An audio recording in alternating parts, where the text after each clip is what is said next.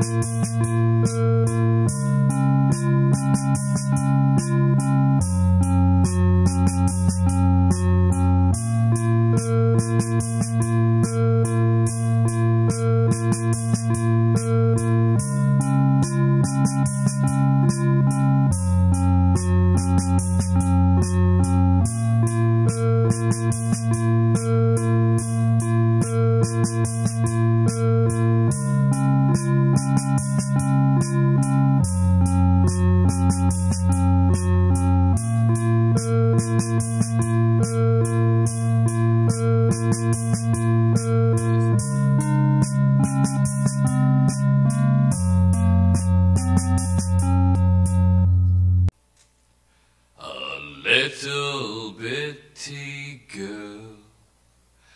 sits in her coffee table